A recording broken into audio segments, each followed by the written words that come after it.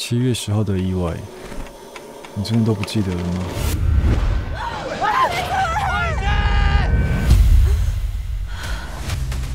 你脸上旁边这边有一颗痣，他没有。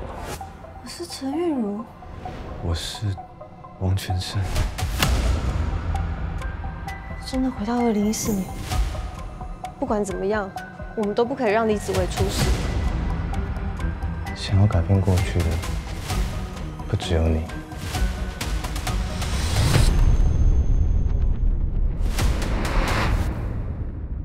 我还是没救到他，不管试几次都一样。是不是不管再怎么努力，最后还是什么都没办法改变？为什么你说的那个未来，跟我遇到的不一样？如果我跟他都逃过这场意外，阻止这一切的方法只有一个。我们还有时间，我们一起想办法，好好的活下来。